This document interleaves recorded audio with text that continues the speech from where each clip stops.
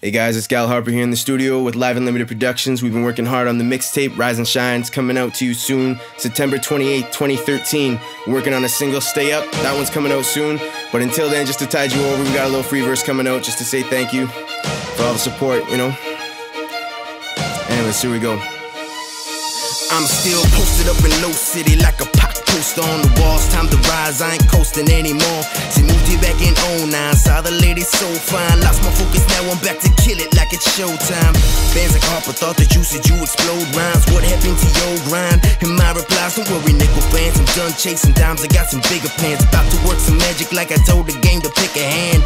Look here, it's flash of king of clubs. And I ask him, is this your card? I thought you said you go hard. I get compared daily to a certain rap soap star. Plus, I got the talent to spit on top of some whole bars. And so far, as far as I'm concerned, man, am I the only one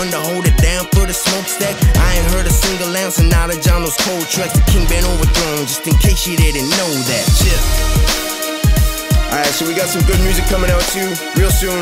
Rise and Shine the mixtape. I just want to say a quick thank you to everyone that voted for me in the JRMAs. I ended up winning that award, so thank you very much. From the 705 to the 519, everywhere else, doesn't matter. One love, stay up. We appreciate you. Thank you very much. New music coming soon.